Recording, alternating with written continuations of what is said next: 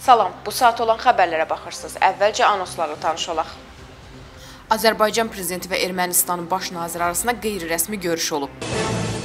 ASTV-də kadr islahatına və yoxlamalara başlanıldı.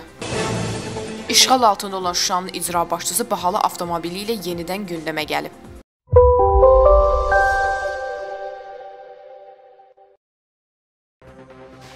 İndi isə daha ətraflı. Gəncədə maye qazın satış qiyməti yanvarın 5-dən 5 qəpik artırılıb. Sürücülər azı 2 həftədir ki, məntəqələrdən əvvəl 45 qəpik olan qazı indi 50 qəpik aldıqlarını deyirlər. Gəncədə maye qazın satış qiyməti yanvarın 5-dən 5 qəpik artırılıb. Yanacaq doldurma məntəqələrində yeni qiymətləri inkar edən yoxdur. Bəzilərində qazın 50 qəpiyə satıldığı hətta qiymət lövhələrində də əks olunub. Ancaq bahalaşmanın hansı qərara əsaslandığını deyən yoxdur. Analoji hadisə Şəkidə də müşahidə edilir. Burada isə vətəndaşlar maye qazın 10 qəpik bahalaşdığını deyir. Qaz satışı ilə məşğul olan şirkətin məsul əməkdaşı bildirir ki, qiymətlərin paytaxtdakı 45 qəpiklik qiymət əvəzinə 55 qəpiyə satılmasının bir sıra səbəbləri var. İqtisadiyyat Nazirliyinə məsələ ilə bağlı bildirir bildirirlər ki, maye qazın topdan satışının qiyməti dövlət tərəfindən tənzimlənir. 1 ton qazın topdan satış qiyməti 300 manatdır.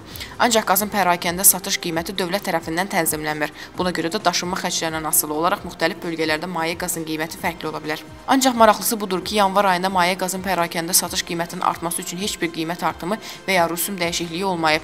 Bu yerdə sual yaranır. Bəs maye qazın satışında son bir ayda baş verən bahalaşmaya səbəb nədir?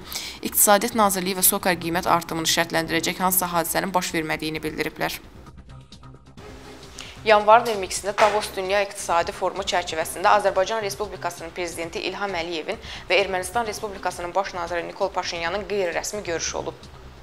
Davosda keçirilən görüşdə Ermənistan-Azərbaycan Dağlıq Qarabağ münaqişəsinin nizamlanmasına dair danışıqlar prosesinin cari vəziyyəti müzakirə edilib. Qeyri-rəsmi görüşün fotoları haqqında erməni politoloq Styopa Safaryan yazıb.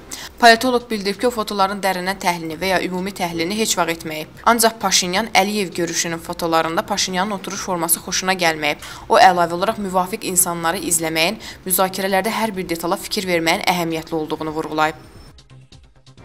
Azərbaycan televiziya və radio verilişləri qapalı səhmdar cəmiyyətində sədr dəyişikliyindən sonra kütləvi kadr islahatına və keçmiş rəhbərliyin fəaliyyətinin auditinə başlanıb.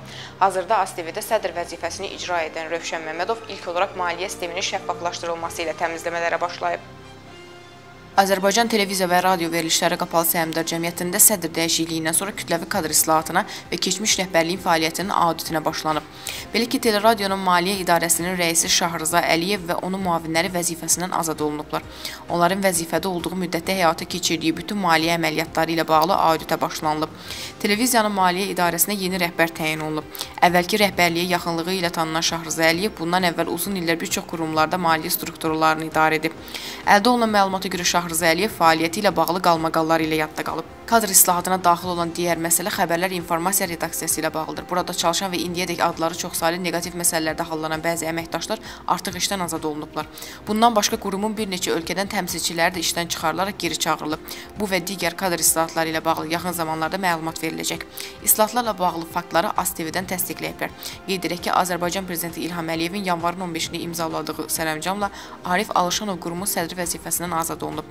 Dövlət televiziyasının sədri vəzifəsinin icrası tanınıb tanınmış jurnalist sədr müavini vəzifəsini tutmuş Rövşən Məmmədova tapşırılıb. Gürcüstanın sabiq prezidenti Mixail Saakashvili Ukraynada keçiriləcək prezident seçkilərində Batkovşina partiyasının sədri Yuliya Timoşenkoya dəstək verdiyini açıqlayıb. Mixail Saakashvili jurnalistlərə açıqlamasında deyib ki, Yuliya Timoşenko onun Ukrayna vətəndaşlığından qanunsuz məhrum edildiyi zaman dəstəyini göstərib. Ümid edir ki, Pyotr Poroshenkonun quldur dəstəsini hakimiyyətdən qova biləcək. Saakashvili 2008-ci ildə Rusiya ilə müharibə zamanı Yuliya Timoşenkonun baş nazir kimi Gürcüstana yardım göstərdiyini xatırladıb. Ukraynada prezidentliyə namizədliyi qeydə alınan şəxslərin sayı 13-ə çatıb. Seçki kampaniyasına dekabrın 31-dən başlanılıb. Prezident seçkiləri martın 31-də keçiriləcək. Şuşanın icra başçısı Bayram Səfərov ABŞ istehsalı olan Lincoln MKS modeli avtomobilində gəzməyindən danışıb. O jurnalistin Amerikanın prezidenti Trampla eyni maşında gəzirsiniz fikrinə Tramp mənim yanımda kimdir ki cavabını verib. Şuşanın icra başçısı sürdüyü bahalı avtomobil də yenidən gündəmə gəlib. İcra başçısı Bayram Səfərov bildirib ki, sözü gedən model avtomobildən dünyada çox istehsal edilib. Stat. Məyər Bayram Səfərov elə maşında gəzə bilməz? Axı mənim yanımda Tramp kimdir ki?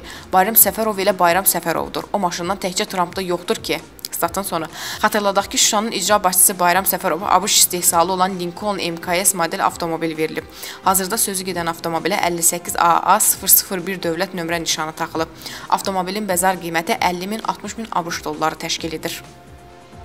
Ermənistan İctimai Televiziyası keçmişin dostluğu və bugünün düşmənçiliyi başlıqlı reportaj təqdim edib. Reportajda ermənilərlə Azərbaycanlılar arasında Qarabağ müharibəsindən əvvəlki əlaqələr və gələcəkdə bu dostluğun bərpasından bəhs olunub.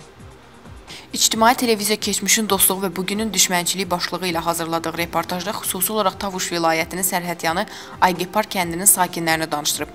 Reportajda erməni kəndinin sakinlərini Sovet dövründə Azərbaycanın Əlibəyli kəndinin sakinləri ilə necə dostluq əlaqələri qurmalarından bəhs ediblər.